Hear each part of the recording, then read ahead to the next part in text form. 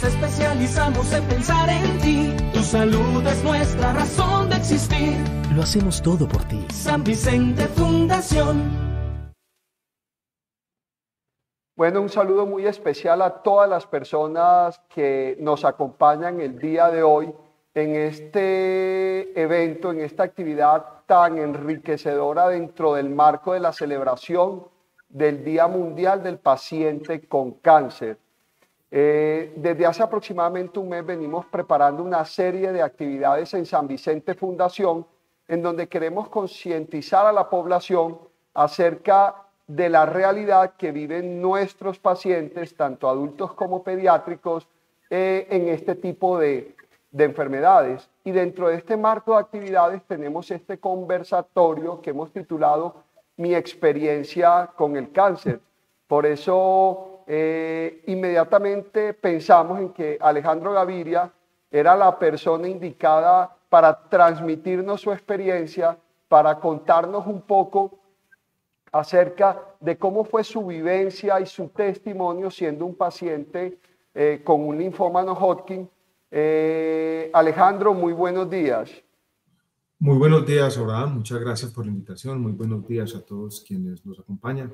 Un saludo especial, sobre todo a los médicos, a los pacientes en San Vicente Fundación, a eh, una institución a la que le tengo cariño, respeto, admiración. Entonces, la verdad, gracias por la invitación y complacido de poder compartir unos minutos. En, en nombre de San Vicente Fundación, de la Junta Directiva, de la Presidencia, el doctor Mauricio Tamayo, eh, queremos agradecerte eh, el compartir con nosotros este espacio porque realmente ha sido muy cercano a la Fundación. Yo, yo en lo personal tuve la oportunidad de conocerte eh, cuando estabas en tratamiento y, y te voy a confesar que me impactó muchísimo ver a una persona que estaba en una situación de vulnerabilidad, pero al mismo tiempo con esa fortaleza interior, con ese empeño de querer sacar nuestro sistema de salud adelante y, ser un, usuario real de nuestro sistema de salud. Eh, Alejandro, eh, yo creo que tú no necesitas presentación, pero si quiero comenzar con una primera pregunta. ¿Quién es Alejandro Gaviria?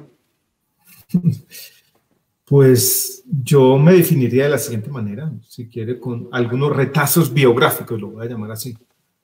Yo soy, eh, me considero antioqueño, aunque yo nací por una casualidad en Santiago de Chile. Eh, yo me definiría en mi paso, sobre todo por el colegio, una persona introspectiva. Incluso en mis primeros años yo era una persona bastante tímida, así recuerdo mis años en el colegio. He tenido, eh, Abraham, como eh, en mi vida, tal vez dos aspectos paralelos que han discurrido. Eh, un interés por el estudio, sobre todo en aspectos técnicos, por la estadística, por la matemática, pero al mismo tiempo un interés humanista. Entonces yo siempre he querido combinar, y yo creo que eso sería una buena forma de definirme también. He tenido una trayectoria profesionalmente que ha mezclado la academia con la función pública, soy una persona que quiere a su familia, que valora su vida interior y soy una persona que trata de manera modesta, porque yo creo que uno siempre tiene que tener cierta modestia en los propósitos de aportarle a la sociedad. Eh, así me definiría. Alejandro, cuando tú hablas de reconciliar las matemáticas, los números, la economía, tú eres ingeniero y eres economista, ¿Cómo lo reconcilias con el humanismo? Porque normalmente casi que vemos que esas dos áreas del cerebro son divergentes. ¿Cómo Alejandro Gaviria es un matemático, pero también es un, humanista? Yo creo que son manifestaciones, a pesar de que parecen distintas, en el fondo complementarias del espíritu humano. Yo veo en las dos una manera de entender la realidad, una manera de entender nuestra posición en el mundo, si se quiere, pero tal vez la forma como lo hago íntimamente es que a mí siempre me gustó la literatura, por ejemplo, la lectura y la poesía. Entonces yo, incluso de ministro de salud, te lo confieso, Abraham, yo por la noche llegaba aquí cansado, 10, 11 de la noche, y le dedicaba si fuera media hora, 20 minutos, 25 minutos antes de dormir a leer otra cosa, ¿no? A esa conversación con nuestra conciencia, que es eh, la forma como yo concibo la literatura. a de alguna manera alimentarme la experiencia humana de quienes han pensado y escrito de alguna manera eh, lo que yo concibo como esta aventura de nuestra especie, de observar el universo desde este rincón, de entender un poco nuestro destino. O sea, con esos temas técnicos que han hecho parte de mi vida profesional, yo siempre he tenido lo que yo podría llamar esa búsqueda como de sentido, ¿no? de autotrascendencia, de preguntarnos, después de todo, cuál es nuestra función los años que vamos a estar en este planeta. Bueno, entonces yo, yo podría definir a Alejandro Gaviria como un observador eh, y a mí me gustaría que me contaras un hombre que se encuentra en la cumbre de su vida profesional, que ha sido un profesional exitoso, un líder carismático, ser diagnosticado con cáncer, ¿qué significa? Te voy a dar, antes de contestar la pregunta, yo escribí este librito hace poco que se llama Otro fin del mundo es posible, que en el fondo tiene un capítulo, Abraham, sobre la necesidad de conjugar, mezclarse, si quiere, las artes y las ciencias. Me parece muy interesante lo que tú dices de observador, porque yo tengo una frase aquí, que en el fondo intenta ser casi que autodefinitoria, aunque no, no está así, pero dice lo siguiente, reafirma o quiero reafirmar nuestra posición de espectadores deslumbrados conscientes del milagro del universo y por lo tanto esclarecidos. O sea, un espectador que al ser espectador, si observa el mundo con atención, si mantiene esa capacidad de cultivar el asombro, puede aprender algo de eso. El diagnóstico de cáncer a mí me llegó de manera completamente intempestiva. Yo puedo contar la historia. Creo que estas historias compartidas son buenas para todos, saludando a lo que yo llamo mis compañeros de lucha, pacientes oncológicos. Yo me levanté muy temprano, tenía una reunión con secretarios de salud de todo el país, municipales, en un hotel aquí en la ciudad de Bogotá. La reunión era a las 7 de la mañana, me levanté ese día a las 5 y media. Y noté que tenía una molestia en la parte baja, como del abdomen. No le puse mucha atención. Y me tocó dar una especie de presentación en media hora. Después yo vi el video grabado en YouTube y yo veía que me, recostaba en el podio. Seguramente tenía el dolor que yo trataba de como eh, no pensar en eso, evadirlo. Ese día por la tarde, ya el dolor era insoportable. Tuve que salir hacia el hospital aquí en Bogotá, la clínica del Country, y me estaban diciendo esa noche que tenía cáncer, que probablemente tenía un tumor. Me llegó como le llega a todo el mundo, absolutamente inesperado no tenía ninguna historia familiar de cáncer. Fui consciente inmediatamente de esa suerte de ironía, ¿no? de ser ministro de salud y paciente del cáncer al mismo tiempo. Lo primero que pensé fue en mi familia, en lo que venía. Mm. Recuerdo que cuando terminaron mis exámenes y llegué a mi casa un sábado después, sabiendo lo que tenía que enfrentar con el tratamiento, eh, tuve esa reacción que tenemos todos los pacientes de cáncer de, bueno, ¿y por qué a mí? Y había leído un libro del intelectual inglés Christopher Hitchens que respondía a ese ¿por qué a mí? diciendo ¿por qué no? En el fondo es el azar, la contingencia, nuestra fragilidad biológica, y lo acepté en ese momento. Yo dije, voy a tratar de, luchar. Eh, mi familia siempre estuvo muy presente y esa parte de la que hablábamos, Abraham, un poco esa parte espiritual, la poesía, la literatura, fue también una forma de resistencia, una forma de luchar, de, de nuevo, como hablábamos ahora, de darle un sentido. Eh, a pesar de que tuve días duros, a pesar de que tuve tristeza, como tenemos todos, me sentí también desde el comienzo con cierta fuerza interior, ¿no? con diciendo, no sé cómo va a resultar esto, pero voy a tratar de poner lo mejor posible. Y fui capaz de seguir trabajando con algunas dificultades. Seguí leyendo. Incluso hoy me gusta escribir reseñas de libros por allá en Amazon. No sé dónde saqué la fuerza, pero esos días que estuve enfermo leía más y escribía más. O sea, mantuve cierta actividad frenética en ciertos momentos. Como una forma tal vez a veces un poco loca de mostrarme a mí mismo que podía seguir viviendo de alguna forma.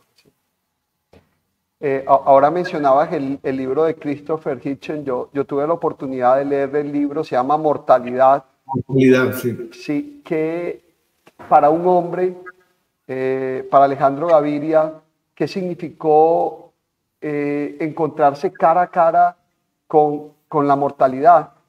Muchos santos católicos o muchos literatos representan esos momentos de gran lucidez con la calavera en la mano y mirando la muerte a los ojos, ¿qué, significa eh, en el ámbito de la inmanencia y de, la trascendencia que mencionabas ser consciente de, nuestra propia mortalidad, que, realmente es de todos? Yo, yo trabajo con niños, yo, yo, soy cirujano pediátrico y veo morir niños, pero, pero a veces como que hay una parte de nuestro cerebro que se olvida de eso y, y cuando estamos enfermos lo recordamos ¿Cómo cambió tu vida descubrir que somos mortales? Eh, Abraham, el tema de la mortalidad está presente siempre en nuestras vidas, pero para los pacientes oncológicos es una realidad que está ahí. Y yo creo que yo me volví un poco más introspectivo. Puedo decir que eh, esa idea como de la compasión, esa idea de que la desazón, la enfermedad, y la certeza inexorable de la muerte es parte del destino humano. Yo la tenía ahí, pero eso quedó mucho más afianzado. Eh, cité en este librito que yo escribí sobre cáncer una frase de Carl Sagan que quiero traer a cuento nuevamente, un poco para los pacientes oncológicos que mucho han sentido lo mismo, que es una gran paradoja, que dice lo siguiente, estar a punto de morir es una experiencia tan positiva, tan formadora, que la recomendaría a cualquier persona, salvo por supuesto por el irreductible y esencial elemento de riesgo. Y esa es la gran paradoja de esta enfermedad, que fue una experiencia positiva. O sea, en retrospectiva, yo encuentro, claro que hay aspectos negativos, claro que yo vivo con cierto miedo, claro que esa presencia de la muerte me acompaña más de lo que hacía antes, pero en el fondo hay esa gran paradoja de que esta experiencia tiene muchos elementos positivos. Une las familias, eh, nos permite vivir con atención. Lo que dije ahora del asombro. Algunos de pronto lo han leído. A mí me pasó una cosa interesante ahora. Estando enfermo, y yo me acuerdo que yo había tenido incluso un choque séptico y sentí en algún momento que se me estaba yendo la vida. Yo me acuerdo llegar aquí a mi casa, estuve aquí en una habitación, aquí pasando al otro lado, un lunes en la tarde, después de estar varios días en el hospital, 10, 11 días, y yo no tenía fuerzas de nada.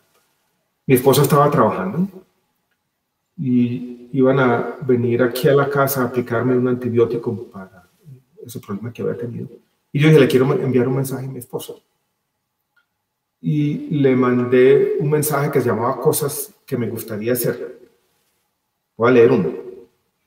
Abrir el periódico, escoger una película al azar, cualquiera, sin grandes estrellas, llamar a mi esposa, encontrarnos, entrar a cine, ver la película, tomarnos después un café y hablar sobre la vida, sobre los hijos que siempre nos sorprenden, sobre la tragicomedia de las oficinas y sobre las películas que hemos visto y las que hemos dejado de ver. Salir de la casa con mi esposa avanzada ya la tarde, dar la vuelta a la esquina, entrar al restaurante italiano, sentarnos en una mesa no frente a frente, sino del mismo lado, pedir una botella de vino y brindar porque estamos juntos y porque estar juntos es suficiente razón para brindar y brindar. Descubrir esto, ¿no? descubrir que en el fondo la felicidad está allí, descubrir que hay que celebrar la vida, y hay que hacerlo todos los días, y descubrir que en el fondo a veces se nos olvida vivir, se nos olvida lo esencial. A mí me gustó citar desde entonces una frase del poeta cubano Liceo Diego, donde hablaba de las diminutas dichas, las diminutas dichas que se aferran con sus mínimas garras a la vida. Y él pregunta después, ¿serán el por qué sí de todo?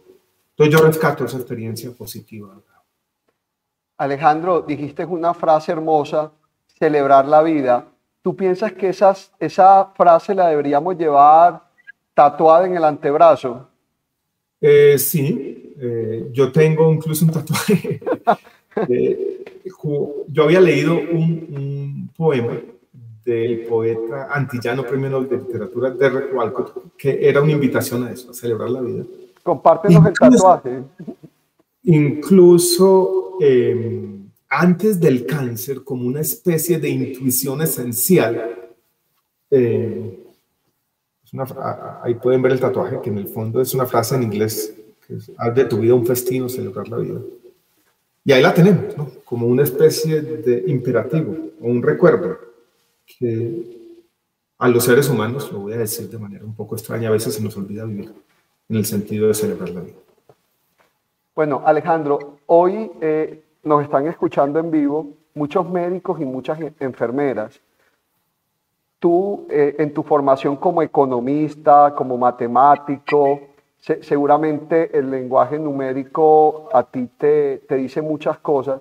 Ser ministro de salud y, manejar el sistema de salud colombiano y pasar a ser paciente y colocarte en manos de médicos y enfermeras, eh, ¿cómo cambió tu vida? Pero sobre todo, ¿quiénes son para ti los médicos y las enfermeras antes y después de ser paciente?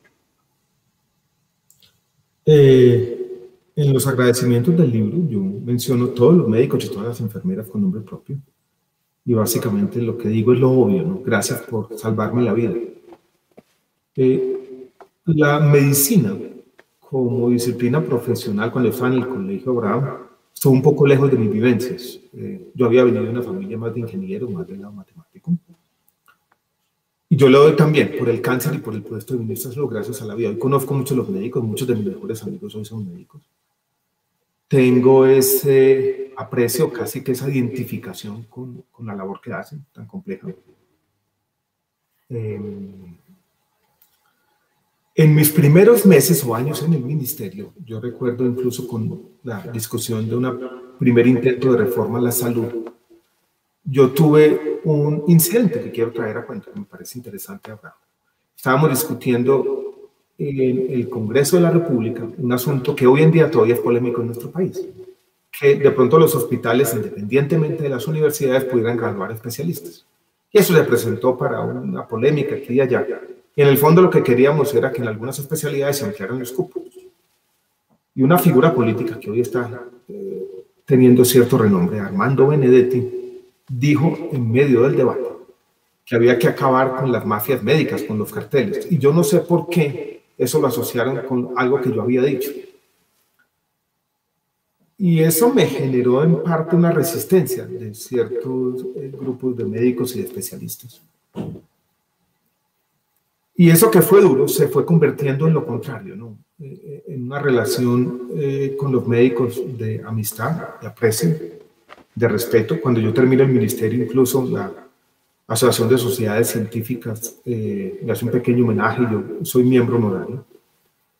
Entonces yo diría a los médicos, estoy agradecido por siempre con ellos, guardo un sentimiento de aprecio, he seguido mucho el trabajo que han hecho en este momento tan especial. Y entonces aprovechar esta ocasión. Eh, el Día Mundial del Paciente de Cáncer para recordar que ahí están los médicos.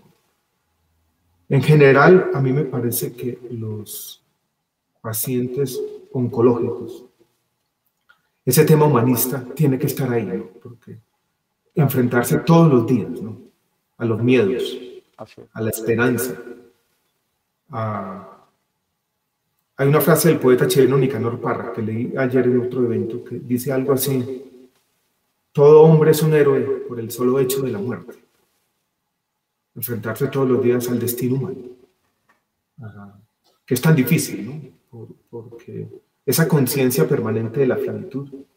Total. Eh, yo creo que eh, para, los, para los médicos y oncológicos está ahí, está ahí de manera permanente. Alejandro. Casi que tienen que ser poetas también, eso diría uno. Total muchas gracias.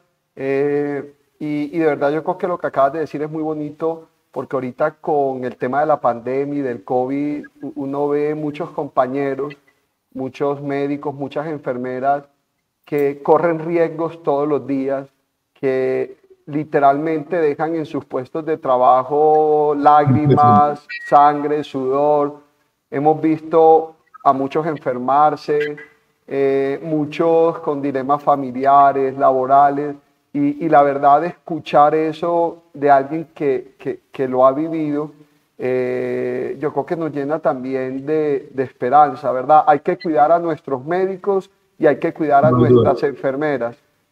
Alejandro, pero Abraham, que eh, ya como rector de la Universidad de los Santos actualmente he notado en, los últimos, en el último año, yo creo que es una consecuencia tal vez indirecta de la pandemia, muchos más estudiantes queriendo estudiar medicina. O sea, a pesar de todas las eh, dificultades que yo no desconozco de nuestro sistema de salud, eh, la gente está viendo en la medicina una inspiración, ¿no? el papel que juega el médico en la sociedad. Hoy en día es más importante que siempre. Entonces yo creo que también es un momento de agradecer, de agradecer colectivamente, pero en el cual esta profesión tiene un lugar preponderante en la vida pública, digamos así. Y yo creo que los jóvenes están dando cuenta de eso y están encontrando una inspiración renovada. sí, total. Eh, yo, yo no me quiero salir como de lo que había preparado para hoy, pero la verdad me siento conmovido por lo que dice.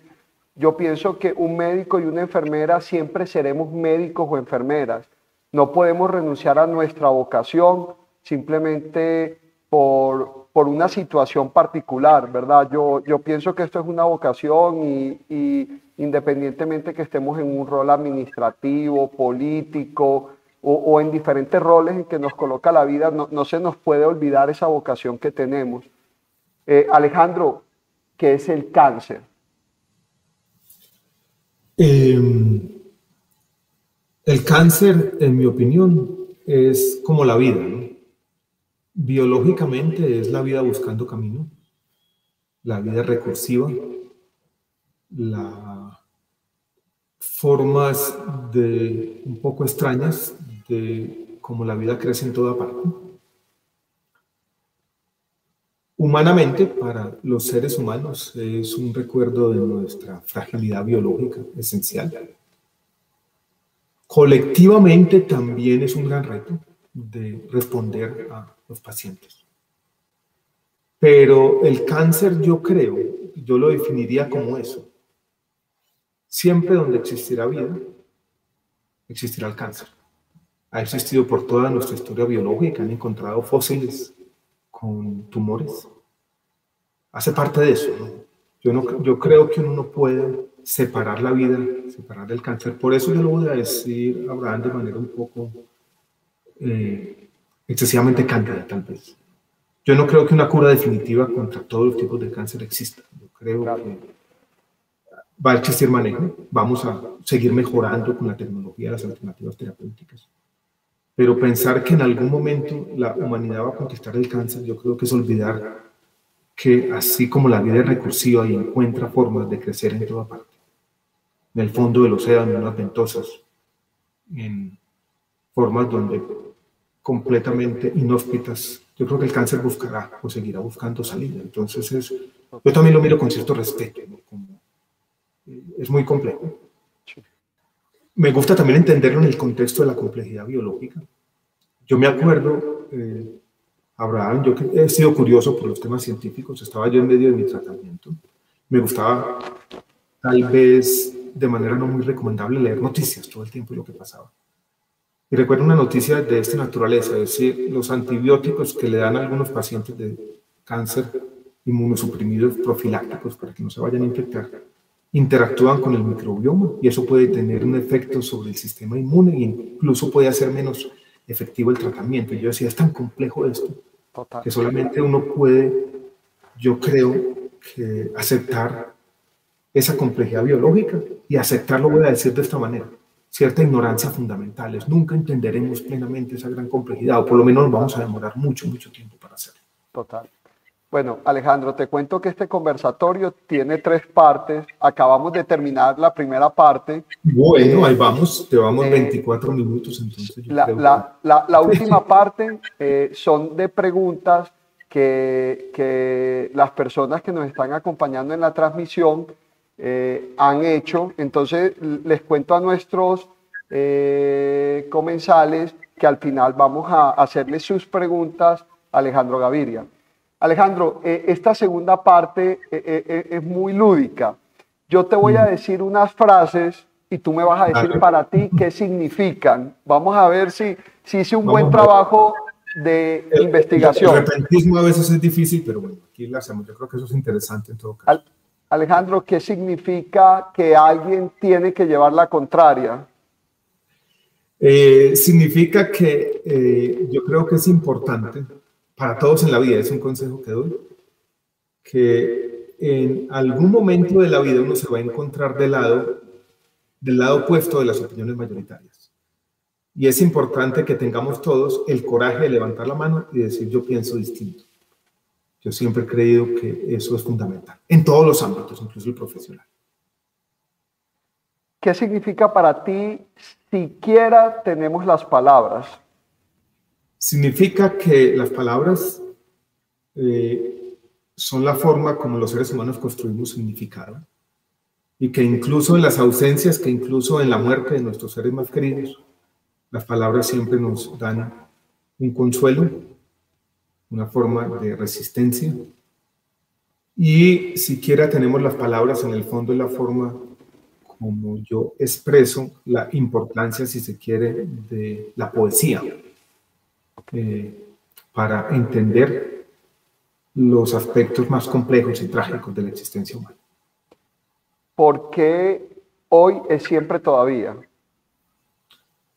Hoy es siempre todavía porque todos los días, todos los hombres, tenemos al menos un instante feliz, como dijo el poeta escéptico Jorge Luis Borges.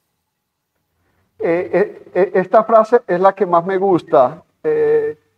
¿Qué es ser tibio?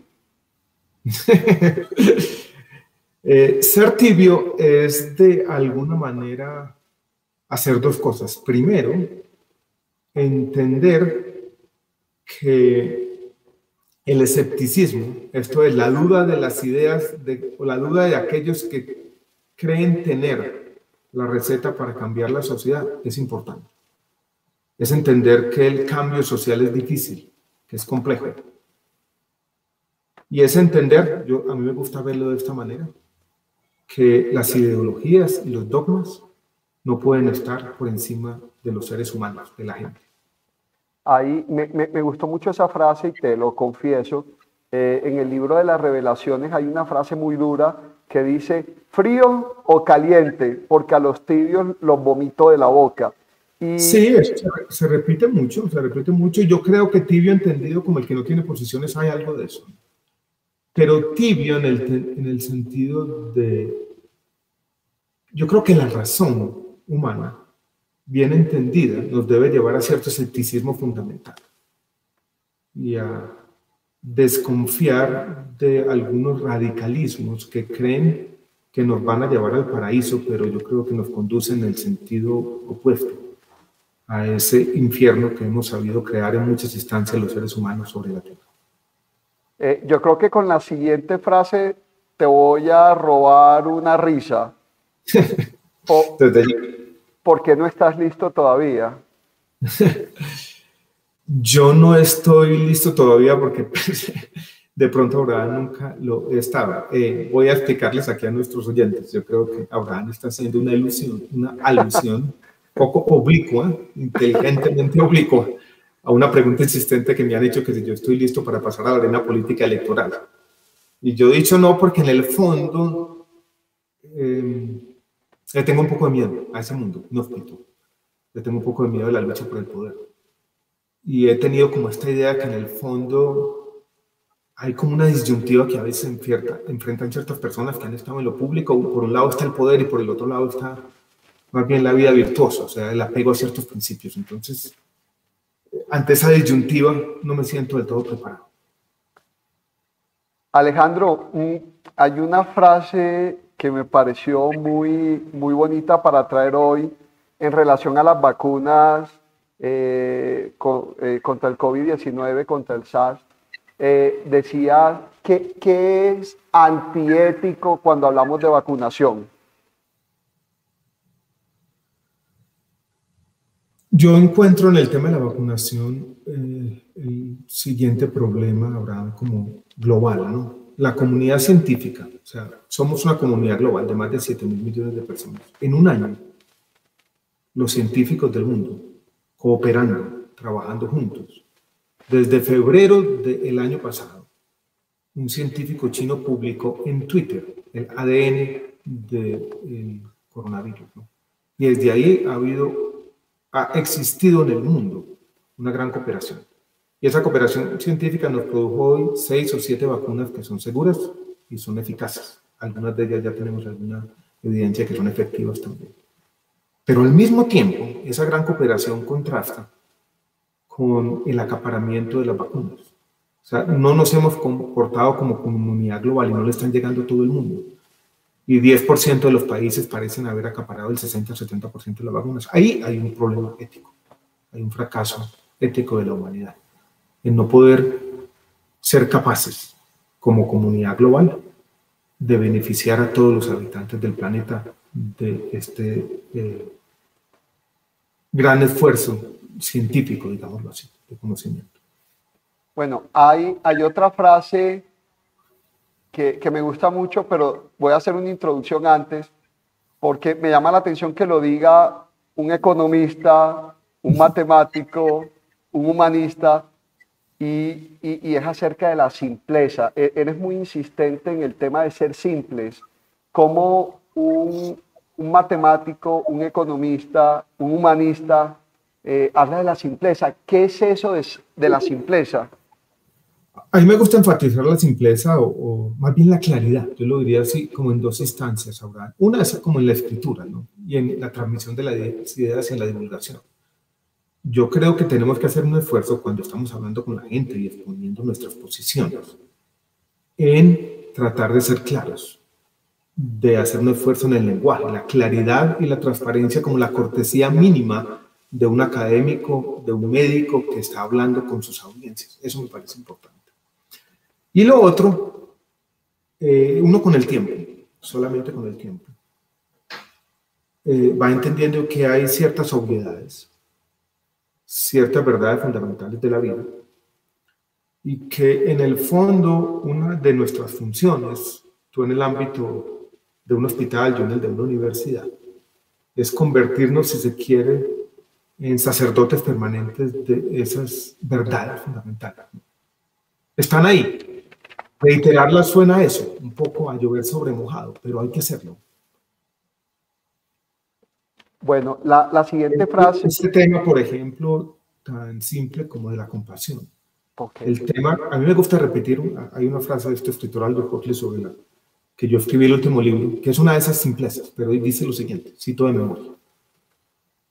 Me da un poco de vergüenza, decía, haber estado imbuido en las ciencias, en las artes, en todos los aspectos humanos, y solo tener un solo consejo para ofrecer. Sean, sean o debemos ser un poco más amables. Eso es muy simple, es casi una obviedad, pero es una de esas cosas simples que vale la pena tener en mente y tratar de reiterar de manera frecuente. La, la siguiente frase eh, ya, la, ya la conversamos parcialmente cuando habla has de un festín, eh, un banquete, y, la verdad me, gusta mucho Platón, cuando escribe en sus diálogos El banquete, habla precisamente acerca del amor y, y, compara la vida con eso, con una celebración, un banquete, un festín. De hecho, toda la tradición de las grandes religiones monoteístas ubican la trascendencia en un banquete, en un festín no, no, no sé por qué llegas a esa conclusión también. Eh, voy a ahora a leer dos parafitos de este poema, que es un poema donde uno habla con uno mismo. Y ese otro, ese otro a veces preocupado, ese otro esclavo del super yo, ese otro abrumado por su conciencia, invita a la otra persona a celebrar un poco la vida. Dice así, otra vez amarás al extraño que fuiste para ti. Dale vino, dale pan. Devuélvele el corazón a tu corazón. a ese extraño que te ha amado toda tu vida, a quien ignoraste por otro y que te conoce de memoria. Baja las cartas de amor de los estantes, las fotos, las notas desesperadas. Arranca tu propia imagen del espejo. Siéntate, haz de tu vida un festín. Eh, es esa conversación que tenemos permanentemente con nosotros mismos. Y es esa doble naturaleza del ser humano, Abraham, ¿no? Porque nosotros queremos al mismo tiempo celebrar la vida. El festín que tú dices está presente en muchas de las alegorías y formas de... Pero no queremos ser solo eso también.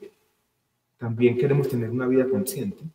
Y esa tensión está aquí en este poema, ¿no? En, la responsabilidad, hacer las cosas como corresponden, tener, si se quiere, culpa.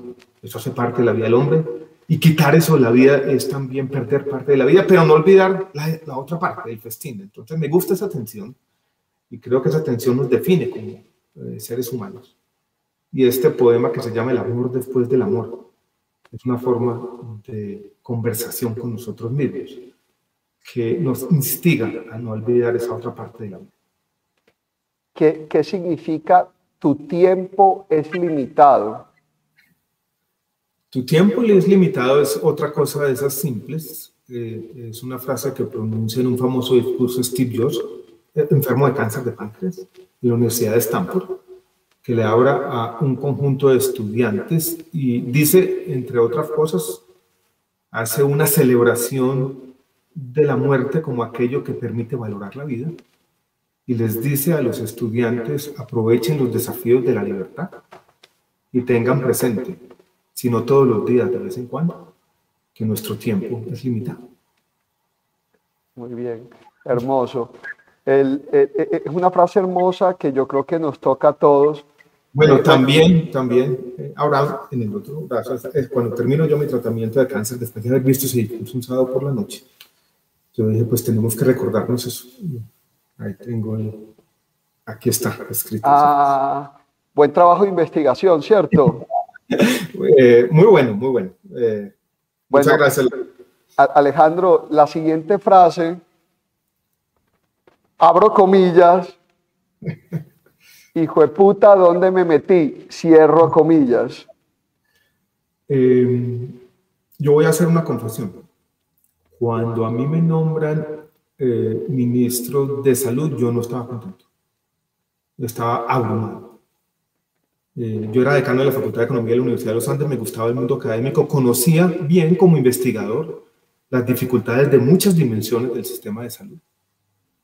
Y llegué al ministerio y tuve una primera reunión con todos los empleados y todo el mundo me miraba con cierta extrañeza. Y lo que yo pensé en ese momento es, fue puta, ¿dónde me metí? Pero, y, y eso, Abraham y todos y todas, ese sentimiento de a veces indefección, a veces decir yo no soy capaz con esto, me acompañó por muchos días, meses, quizá años en el ministerio. Yo me acuerdo regresando a mi casa en un carro blindado. A mí no me gustan esos símbolos del poder. A mí me gustaba caminar solo. A mí me gustaba caminar cuatro cuadras, coger un taxi y irme hacia la oficina, incluso montarme en un bus. Yo decía, ¿para qué me metí aquí? Ese sentimiento de, de estar abrumado por las circunstancias, de no poder, de sentirme incluso a veces derrotado, de, no ser capaz con ciertos problemas, pero entender que no eran míos, que esto era un problema que trascendía la figura del ministro. Me acompañó muchos días, muchas semanas, muchos meses, yo diría años, yo fui ministro de salud proceso.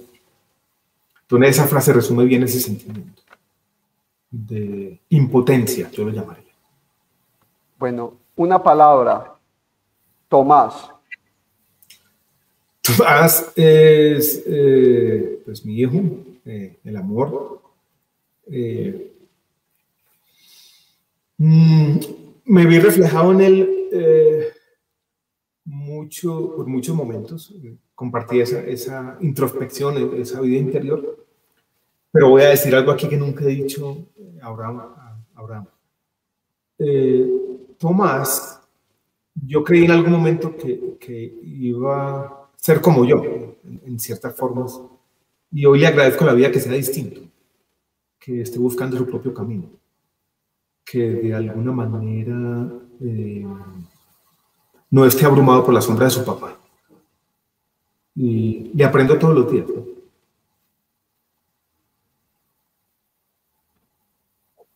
¿Qué es la compasión? La compasión es ese sentimiento que expresó tal vez mejor que nadie una religión, el budismo, de entender que todas las personas, incluso los seres vivos también, somos voces de la misma penuria, dice el poeta, que todos compartimos ciertas tragedias. Lo mencionábamos hace un rato, todos nos identificamos en la enfermedad, en la muerte, en cierta desazón, en ciertos momentos en los que no le hayamos sentido a la existencia. Entender eso, que todos compartimos ese mismo destino y esas mismas angustias y esa misma dimensión trágica de la vida, yo creo, Abraham, que nos hace mejores personas. Hay un libro sobre la ética de la compasión de, Jean-Charles de Melich y él dice que precisamente ahí radica nuestra humanidad, en, descubrirnos vulnerables y, y, sabernos necesitados de los otros, ¿verdad? El, sentimiento de autosuficiencia, el sentimiento de, omnipotencia eh, nos termina alienando y termina desfigurando nuestra propia humanidad. Entonces me, me, me parece que, como dice Sabater, lo que nos hace hombres y lo que es bueno para el hombre es precisamente lo que nos hace hombres. Es complejo entenderlo, pero... Yo tengo, Esta, eh, tengo esta frase aquí que no es mía, que le oí a alguien y que la utilizo en este último librito. La providencia no está ocupada de los asuntos humanos, probablemente, pero si lo estuviera, tal vez seríamos juzgados por cuán bien hemos tratado a quienes nada tienen que ver con nosotros, salvo su humanidad. Yo creo que esa es la compasión. Entender que probablemente hay personas que no conocemos que tienen muy poco en común, pero todos tenemos en común la humanidad. Yo creo que eso es una invitación a tratar a los otros con amabilidad. Bueno, muchas gracias por este segundo momento del conversatorio Recordemos que hubo una primera parte donde nos contaste un poco sobre tu experiencia, una segunda parte donde estuvimos revisando palabras, frases, pero bueno, ahora viene la parte más difícil porque las preguntas no las voy a hacer yo, sino el público. Yo, quiero en esta parte, como en esta frontera entre la parte 2 y la parte 3, darte las gracias ¿no? y contarles a sí. quienes nos acompañan esta mañana que las frases de Abraham no fueron improvisadas, que me doy cuenta yo y tal vez algunos de que vienen de la diligencia, el estudio de algunos de mis libros y conferencias. Entonces, la verdad, muchas gracias. Eso, eso demuestra no solamente profesionalismo, sino afecto. Muchas gracias. Muchas gracias de verdad por aceptar esta invitación. Eh, la verdad, yo creo que generaste mucha expectativa y, la primera pregunta del público es eso, ¿qué es más difícil, ser ministro de salud o rector de los Andes? Es más difícil ser ministro de salud. Eh, eh, rector de los Andes es complejo porque en, el fondo es lo mismo que en, un hospital, es, lidiar con personas muy estudiadas, escépticas, eh, que demandan mucho, pero los problemas del Ministerio de Salud son de un alcance muy diferente, de una dimensión mucho mayor que los de una universidad. El ámbito es más grande. Eh, hay dos dimensiones que también diferencian mucho el trabajo y es el tema del Congreso, que es muy difícil para cualquier ministro, el control político, las presiones permanentes y también el escrutinio permanente de los medios de comunicación, yo algo tengo de eso hoy en día, pero es mucho menor esas dos dimensiones también hacen que sea más difícil ser ministro. E, e, esa pregunta nos las hizo eh, Ariel López, pero tengo otra pregunta de Marta María Jaramillo. Ella dice que tiene un, familiar con cáncer y, la pregunta es, por parte de nosotros como amigos, como familia, ¿qué, necesita un paciente con cáncer? Es una obviedad, pero necesita compañía, y yo tengo una frase en el librito que dice, los pacientes de cáncer nos alimentamos de esperanza. Esperanza. En el sentido de un poco de confianza en el futuro. Un poco digo porque probablemente nunca será eh, suficiente. eh, espacio también necesitan, eh, tacto de decir ciertas cosas, pero yo sobre todo enfatizaría en la esperanza. Bueno, aquí nos pregunta Sara del Río, ¿qué retos existen en Colombia frente al manejo actual eh, del paciente con cáncer en mitad de una pandemia como la del SARS-CoV-2? Yo puedo, tú sabes más que yo ahora de esa, eh, la respuesta a esa pregunta. Yo quiero señalar tres, que son los, de, los que tuve como ministro de Salud. El primero y el más importante es el reto de la atención oportuna y con calidad, que ocurre en unas instancias pero no ocurre en otras, que tiene que ver con temas de diseño de nuestro sistema de salud, pero también tiene que ver con falta de recursos, de que somos un país que probablemente no invierte lo suficiente en salud por un montón de razones que tienen que ver con equilibrios políticos. La segunda es una razón eh, un poco más técnica y tiene que ver con la capacidad que tenemos que tener como sistema de salud para ir incorporando las nuevas tecnologías. Ese me parece también que es un reto importante. Yo creo que hay muchas diferencias regionales también en las capacidades. O sea, hay áreas, regiones de nuestro país donde la atención es razonable, hay regiones donde no. Y yo creo que está el, otro reto, eh, Abraham, de lo que uno podría llamar servicios complementarios, porque no solamente está el tema médico, sino los acompañamientos que se necesitan, a veces eh, las terapias, los impactos económicos que esto tiene, no por los tratamientos que Colombia en general tiene protección financiera, sino por eh, se deja de percibir un salario, sufren eh, los hogares. Esa, ese otro complemento a la protección en salud también es, es un reto importante. Bueno, Alejandro, aquí hay un saludo muy especial eh, de parte del doctor Mauricio Tamayo Palacio, él es el, el, actual presidente de San Vicente Fundación. Mauricio, muchas gracias a Mauricio por el saludo. Un abrazo. Y, estamos en contacto, él tiene mi teléfono. Y, y, coloca, apreciado doctor Alejandro, en nombre de San Vicente Fundación y de su junta directiva y en el mío propio, nuestro agradecimiento y gratitud por compartirnos el día de hoy su experiencia de vida. Muchas gracias, Mauricio. Un abrazo fuerte y, gracias a ti y reitero, gracias a todos quienes han trabajado en este año, tal vez el año más duro para varias generaciones en, los temas de atención al salud. Muchas gracias. Ana Catalina nos pregunta qué papel tuvieron las letras y las palabras en su proceso de sanación. Empíricamente no lo sé. Eh, en mi corazón yo siento que mucho. Em, ahí me diagnostican un jueves. Eh, estoy el viernes en los exámenes, el sábado ya llego a mi casa. Y el domingo eh, estaba triste, ¿no? Yo no sé por qué ese día pensaba que esto era definitivo. Estaba recostado en mi cama, al lado estaba eh, mi esposa, y tuve como en, ese momento eh, esa idea de que se iba a quedar sola. Y en ese desconsuelo, eh, recuerdo el papel de las palabras y recuerdo haber leído ese día este poema. Quizás sean ilusorios los años y sus vueltas y las horas ausentes y todas las que fueron. Solo es verdad tu risa, más hermosa que los siglos que parten o que llegan. Solo tu voz, tus ojos, tus palabras y nuestro asombro de ser aquí la vida, de celebrarla en cada lumbre de su fuego hasta el mínimo instante.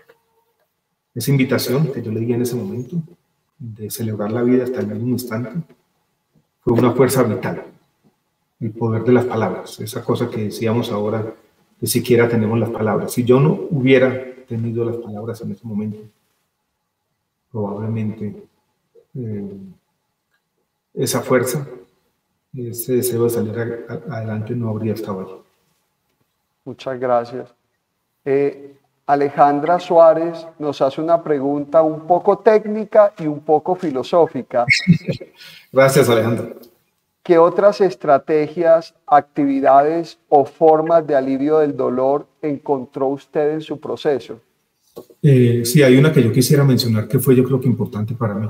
Eh, un amigo de, no, el esposo de una de las mejores amigas de mi hermana había tenido la misma enfermedad, linfoma Hodgkin y en esos primeros semanas me dijo, yo quiero hablar con vos. Entonces yo llamé y lo hablamos. Y, es muy sanador revivir las mismas historias. Uno identificarse y entender, Abraham y todos y todas, que el corazón humano es predecible. No todos sentimos en ese momento lo mismo. Y uno cree que está sintiendo, cree que está solo, pero encontrar a otra persona sintiendo lo mismo es, en esos momentos, una tabla de salvación. Entonces yo comencé a hablar con él y él me dijo, ¿por qué no habla con este que es mi médico? yo llamé al médico, ya tenía muchos médicos aquí, pero hablé con el tipo. Y él me dijo una cosa, y me dijo, ¿sabe qué? Haga ejercicio. Eso le sirve para su salud mental y puede servirle para su tratamiento. Y eso me sirvió a mí. Yo recuerdo, aquí hay un parquecito a dos cuadras de mi casa, en la 79 con 80 en Bogotá, para quienes conozcan por aquí estos lares. Y yo salía incluso después de mis quimioterapias y a veces no podía trotar, pero a veces lo hacía. O caminaba rápido o trotaba. Y yo puedo decir que el 80% de los días de mi tratamiento yo hice algún tipo de ejercicio. No sé si eso será posible para todos, pero eso fue para mí muy importante. Y eso yo, lo quisiera tener en cuenta como la actividad física, yo, entiendo, yo pienso que para mí fue muy, muy, muy importante. Ok, el deporte, ¿verdad? Mantener bien. Deporte, Y he tenido desde entonces... Eh, esa costumbre de, no abandonar el deporte, de, hacer deporte, de hacerlo de manera frecuente. La, la siguiente pregunta me encanta, eh, la hace Sara María Montoya y dice, eh, ¿qué piensas acerca, qué, qué estrategia podemos llevar a cabo nosotros como sociedad para tener más empatía con los pacientes con cáncer? Eh, sí, es, es, lo que estamos haciendo aquí este conversatorio es parte de eso, uno lo podría ver como una estrategia ¿no? para, para difundir y tener esa empatía.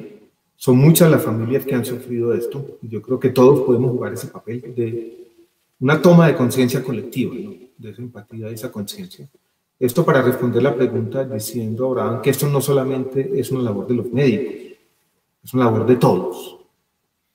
Y pasa por temas elementales, las conversaciones que tenemos con nuestros amigos en la oficina, con los compañeros. Y yo tengo mucha confianza en el poder de las historias, ¿no? contar las historias, eh, compartirlas. Yo creo que así, con historias compartidas, se va generando esa conciencia. Pero muchas familias tienen historias que contar, algunas positivas, otras no tanto. Contar esas historias permanentemente, yo creo que puede ayudarnos en esta toma de conciencia colectiva. Te, cuento que nuestra audiencia de hoy tiene unas preguntas buenísimas. Eh, aquí citan una frase tuya y hacen una pregunta. La inminencia de la muerte le había devuelto la vida. Gracias por esta frase y nos pregunta cómo no caer en las pequeñas muertes de la rutina que nos llevan a olvidar lo esencial, lo importante. Eh, yo después de escribir esa frase, y pasó el tiempo, me di cuenta que estaba volviendo a caer en lo mismo. Yo creo que es importante encontrar espacios para hacer eso otro. Eh, espacios familiares. A mí, por ejemplo, me gusta encontrar espacios para leer poesía. En los últimos meses mm, eh, me gusta, me he aficionado con una camarita que tengo vieja a tomar foto de las estrellas y me voy aquí, eh, bajo aquí al garaje, el perro baja conmigo y se sienta al lado y paso media hora en eso, ¿no? Y llego renovado, como una especie de, terapia. Y se siente uno que esa necesidad de lo que hablábamos ahora de cultivar el asombro está ahí. Pero yo creo, para responder la pregunta, es una lucha permanente. Es muy fácil caer en la inercia de todos los días. Hay una frase que yo cito ahí de, un poeta salvadoreño, Roque Dalton, que dice el orín de los días, entendiendo como esa rutina. Tenemos que hacer un esfuerzo. Espontáneamente no va a pasar.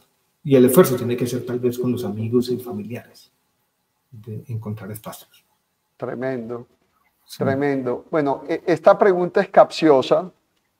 Sí. ¿Qué aspectos eh, de ser paciente eh, te cambiaron tu posición a, la realidad del sistema de salud en Colombia? Mm dos o tres eh, aspectos me pudieron haber cambiado.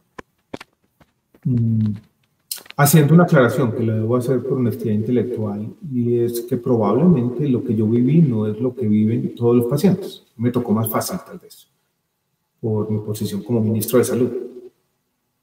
Eh, al final de mi tratamiento, yo estaba terminando el tratamiento de radioterapia Llegué muy temprano, la cita era a las siete y media, pero yo llegué como faltando un cuarto para las siete. Me senté en la sala de urgencias, había dos o tres pacientes esperando, no había muchos de mañana, y comencé a hablar con ellos.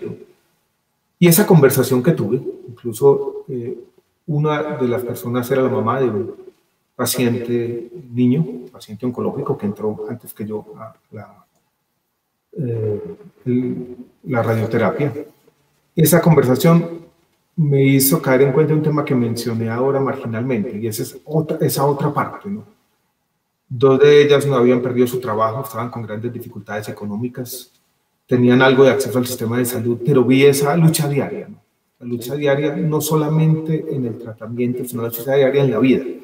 Eso fue un llamado a la atención gana de ese otro aspecto, lo que llamamos esos servicios complementarios, esa necesidad de una protección social integral. Mm.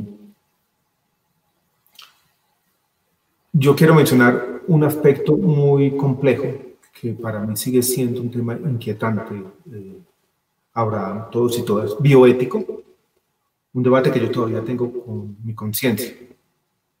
Seis meses antes de mi diagnóstico de cáncer, yo había estado en medio de un debate público que aún no termina, con una paciente en particular. Camila Guavara, que en paz descanse. Eh, un juez de la República falló en su favor, en primera instancia, una tutela para un tratamiento en el exterior. Eso estaba eh, prohibido de alguna manera legalmente por la ley estatutaria en salud, aunque uno podría encontrar eh, de pronto espacios para incluso con la ley estatutaria hacerlo. Yo hablé con la Asociación Colombiana de eh, hemato-oncología o hematología y oncología. Ellos me dijeron, las condiciones para el tratamiento en Colombia están dadas, son casi idénticas a las que va a tener en MD Anderson en Houston. Y nosotros hablamos con el juez y, dije, yo tenía una conciencia ética en este sentido, en este principio, si se quiere, kantiano, ¿no? Que lo que no es posible para todos no puede ser posible para alguien. Y respondimos desde la perspectiva del Ministerio de la Tutela y Camila tuvo que regresar a Colombia, tuvo un tratamiento en Medellín y murió. Ese eh, incidente trágico, complejo, eh, me hizo a mí cuando estaba en el tratamiento de cáncer tener este tema bioético permanente. Y yo creo que eso me ha cambiado a mí o me cambió en el sentido de que lo que yo decía en teoría lo tuve que aplicar en la práctica. Y me hizo preguntarme una cosa que yo todavía no tengo una respuesta clara, es la siguiente. Supongamos que yo tengo una recaída grande y que el tratamiento tiene que ser el exterior. Yo diría que el sistema de salud tiene que pagarlo, ¿no? Yo no podría ser incoherente. Pero ¿qué tal si alguien me preguntara, bueno, y si usted lo quiere cubrir con recursos privados? Ahí en todo caso hay un dilema ético grande, porque básicamente estaríamos diciendo ese tratamiento, esa esperanza última, solamente estaría disponible para quien puede pagarla.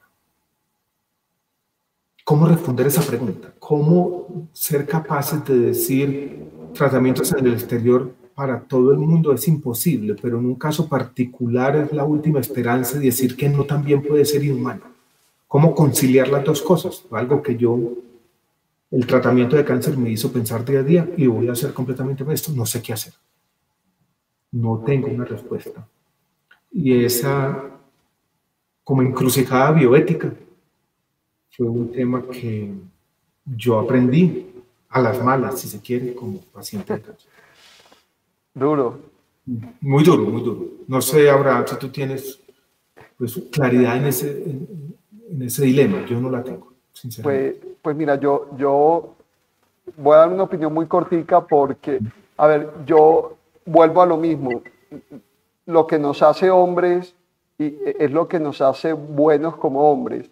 Eh, yo en lo personal pienso que la vida humana es valiosa, eh, está por encima de cualquier otro bien, que cuando nosotros como sistema tomamos la decisión de, dejar en un segundo plano el verdadero valor que es la vida, eh, estamos enfermos. Cuando el tema financiero, numérico, es un fin en sí mismo, estamos enfermos. El fin en sí mismo es, la salud y la vida. Eh, el tema financiero es un medio, es un medio valioso, y tú lo sabes como economista, un medio valioso para, para llegar a ese fin que es la vida y la salud. Yo, yo, te confieso que yo por formación he sido siempre médico, profesor universitario, trabajo en el hospital infantil y, y ahora que estoy en un rol administrativo, el tema financiero me ha costado. Sí, sí, es difícil. Pero también... no, dale, dale, dale, yo te doy mi opinión un poco sobre el tema financiero. Pero, pero también he entendido, también he entendido que, que, que, el tema financiero es un medio, es un medio para ese fin que es la salud y la vida. Entonces también nosotros los médicos tenemos que aprender de, de economía, porque a lo último esa economía es la, la que va a permitir la vida. Yo creo que poner el tema financiero como un fin último sería un gran error, pero también tenemos que entender que hay restricciones financieras. Claro. Así es. Y esas restricciones son complejas. Así. Y en cuestiones de vida o muerte, eh, traer a cuento esas eh, consideraciones financieras es muy difícil. Pero lo que yo quiero con esta respuesta transmitir de algún modo es que hay un elemento trágico también en estas cuestiones. Ineludible, ineludible en, en, muchos casos. Entonces es difícil. Sí, total. De, de, hecho. tan trágico como esto que hemos visto en el COVID, cuando los médicos tienen en momentos de congestión en los hospitales, decir, bueno, ¿quién puede tener acceso a la UCI o no? Pero en el fondo es parecido, porque en el fondo tenemos recursos limitados. Y quien administra los sistemas de salud, en última instancia, y yo creo que eso eh, es una gran enseñanza que yo tuve, está decidiendo sobre la vida y la muerte. Así no lo quiere. Y eso es muy difícil. Eso es muy difícil porque las consideraciones bioéticas de la priorización en salud son preguntas abiertas en respuestas definitivas. A mí me gusta, por ejemplo, en Israel, cuando en esos temas de priorización, de decir si un medicamento entra o no dentro de sus medicamentos esenciales, hay incluso líderes religiosos que ayudan a los técnicos a tomar ese tipo de decisiones. Alejandro, nuestra última pregunta nos lleva a un salto grande. Vamos a pasar del imperativo categórico ético kantiano a, la polis y, a la república de Platón. Eh, esta pregunta la hace Luis Fernando Rivera y nos dice, ¿qué piensas de la política? ¿Consideras que el el actuar político enaltece el espíritu humano? La política tiene dos grandes dimensiones paradójicas. Yo considero, como Aristóteles y como los griegos, que sí, que el actuar político enaltece el espíritu, incluso que el actuar político nos define, pero al mismo tiempo tengo que tener en cuenta que hay otra dimensión de la política, y hay otra dimensión compleja de la política, y hay otra dimensión que no enaltece el espíritu, sino que puede oscurecerlo, y es la lucha por el poder, que está íntimamente ligada a la actividad política. Entonces, la política de alguna manera esconde a Abraham y todo eso, y todo es una gran paradoja, ¿no? porque es algo que enaltece. La política entendido como lo colectivo, la política entendido como una conversación sobre nuestros problemas comunes, pero hay esa otra dimensión de la política, ese otro lado complejo que ha llevado a muchos estudiosos a decir en la política no existe la perfección. No va a haber un Johann Sebastian Bach en la política. alguien que uno pueda decir, este es un ser humano que quiso y quizás alcanzó una forma de perfección. En la política no. La política tiene que lidiar con eso, con lo que llama la poeta polaca Wisława Szymborska la idiotez de lo perfecto, o sea, rechazar la perfección de entrada. Y eso lleva a que la política siempre sea problemática. Y por eso yo cuando pienso en la política dice, pues no meterse de alguna manera una forma de cobardía, es decir, yo prefiero en este mundo mucho más protegido, pero hacerlo significa también un sacrificio, y muchas veces un sacrificio de algunos principios que nosotros consideramos esenciales. Entonces es, es, es la pregunta sobre la humanidad, ¿no? Y la pregunta que muchos hombres, hombres públicos han tenido que responder en algún momento. Tú, Abraham, te pregunto ya para cambiar. Si mañana alguien te dice, bueno, eh, la esfera de lo asistencial es muy importante, pero hay una esfera donde usted puede hacerle mucho más bien a la sociedad. Quiero que se presente un cargo de elección popular para ser alcalde de Barranquilla, Medellín, o sea, representante de la Cámara. No es fácil, ¿no? porque uno es consciente de que su alcance de pronto va a aumentar, puede tocar más vidas, pero que es un mundo eh, donde hay aspectos o dimensiones que uno éticamente de antemano percibe como preocupantes. Entonces, hay, hay ese gran disyuntivo. Alejandro, la, la, la, otra vez la última pregunta, otra última pregunta es mía y, y es muy personal desde esa dimensión ética, científica, compasiva, literata, ¿qué, nos aconsejas a nosotros los médicos? ¿Cómo debemos ser buenos médicos? O sea, se lo estoy preguntando al rector de los Andes, a un exministro de salud, se lo estoy preguntando a, un autor, a un filósofo, pero también se lo estoy preguntando a un paciente. Sí. ¿Qué, debe tener un buen médico? No tengo una respuesta definitiva de cómo ser buen médico, pero sí quiero contestarla de esta manera. Yo tengo que dar un discurso el 25 de febrero a los médicos que van a graduarse de la universidad.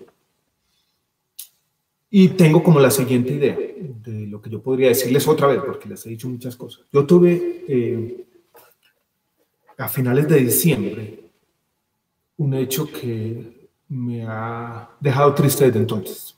Alguien me escribió por las redes sociales, una mujer joven, que quería una copia autografiada de este último libro, el libro Otro fin del mundo es posible. Yo le dije, yo se lo envío, no reparé un poco ni en lo que había escrito, ni en el tipo de mensajes que estaba mandando, ni de quién era, simplemente le envié el libro. Me agradeció y en ese momento me di cuenta. Su perfil de la cuenta de Twitter, ¿sabe qué decía Abraham? Muriendo. Ah muriendo. Era una paciente oncológica que tenía una leucemia refractaria a todos los tipos de tratamiento. Cuando vi ese perfil vi que tenía un enlace a una página web y allí tenía una reflexión sobre eso, sobre lo que significa estar muriendo. Y la leí. Y ese mensaje que ella tenía, eso que, eso que sentía, eso que siente un ser humano joven, en este caso de 20, 22 años, cuando siente que sus esperanzas ya se han extinguido Ahí, miramos esos dos o tres párrafos, yo creo que está el mensaje de lo que es un buen médico. Entender eso. Entender lo que siente un ser humano en esas circunstancias. Y lo que yo quisiera, por ejemplo, hacer ahora en dos o tres semanas este discurso, es con el permiso de la familia leer esos dos párrafos y decir, leer esto de vez en cuando es fundamental para ser un buen médico. Entender el ser humano en ese momento. Así yo respondería esa pregunta. Lo he hecho yo estos días, ¿no? Y es consolador, pero al mismo tiempo esclarecedor. O sea, nos enseña tanto sobre la vida, un testimonio como ese. Y a cualquiera nos enseña, pero a los médicos yo creo que puede enseñarles esa parte sobre la que ha gravitado nuestra conversación, que es empatía, ¿no? entender ese momento y, entender que hay una tecnología de bajo costo, como dijo alguien, que es la conversación, es las palabras, que tiene que estar en el arsenal de los médicos también. Bueno, Alejandro, como el tiempo es limitado, de verdad, De verdad que muchísimas, muchísimas gracias. Eh, en lo personal, este espacio ha sido de reencuentro, de reencuentro con mi mortalidad, de reencuentro con mi humanidad y, y de reencuentro con mi vocación como médico. De verdad que muchas gracias. Tú, tú sabes que como lo, lo, he dicho ya en dos oportunidades, en nombre del presidente de la Fundación, de la Junta Directiva, pero también lo voy a decir en nombre propio, las puertas de la Fundación están abiertas. Que ve, qué rico en, un futuro no muy lejano poderte tener en persona, que nos puedas acompañar. Ya estaré. De, de, verdad que muchísimas gracias. El segundo semestre de este año, cuando fuera incluso los, algunos de los eh, internos de la Universidad de los Andes hacen la rotación allá, entonces. Seguro que sí podemos imaginarnos algún tipo de, encuentro. Quiero mandarles un abrazo fuerte a los pacientes oncológicos. De alguna manera, ellos estaban en el centro de esta discusión, de esta conversación también estaba para ellos. Eh, gracias, Abraham. Gracias por todo tu trabajo para preparar esta entrevista. Nunca había encontrado un entrevistador tan juicioso. y, y, a los médicos, enfermeras, médicas, a todos también un fuerte abrazo de aprecio y gratitud. Muchas gracias. Mm. Y feliz tarde. Hasta luego. Feliz tarde también. Eh, cuídate mucho y feliz fin de semana Muchas, muchas gracias. Nos especializamos en pensar en ti. Tu salud es nuestra razón de existir. Lo hacemos todo por ti. San Vicente Funda.